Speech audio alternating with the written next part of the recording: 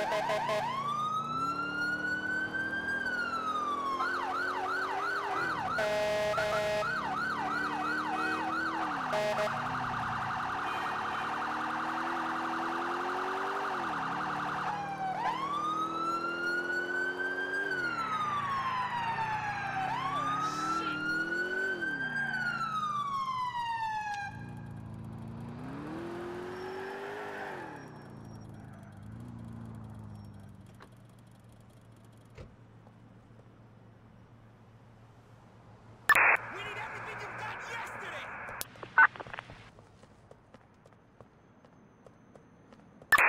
Dispatch a news team from East Holland.